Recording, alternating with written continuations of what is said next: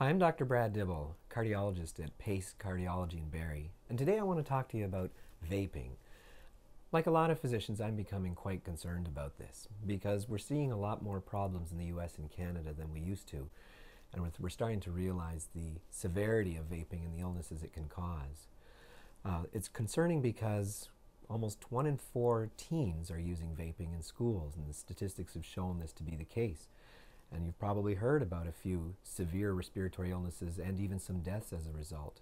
So it's important to understand what vaping is. People understand that smoking a cigarette is when you burn something and inhale the products. And that has all sorts of harm, not just the nicotine that you get, but also the burned products can promote cancer. So a lot of people think that vaping is a lot safer because there's nothing burned. It's just chemicals most often nicotine is one of them, but there are other chemicals in there like propylene glycol and vegetable glycerin. And these help to dissolve the materials that are being vaped. And so there can be nicotine, there can be cannabis, there can be flavors. And when these get lodged into the lungs, they can cause inflammation or even infection. And lungs are only meant to breathe in air, not all of these products. The problem is that a lot of people think vaping is safe because it's not the same as smoking. And although it might be safer than smoking cigarettes, it's definitely much more harmful than not doing any of it.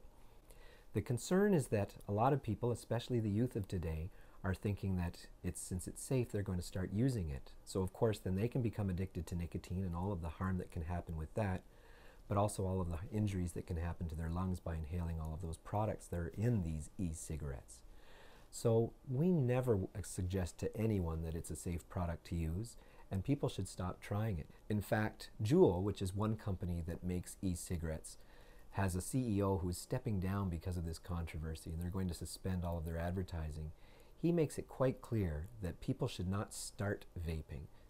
He says the only people who should be using it are those who smoke cigarettes and are trying to get off cigarettes. So it's a step down towards the ultimate goal of not doing any of this.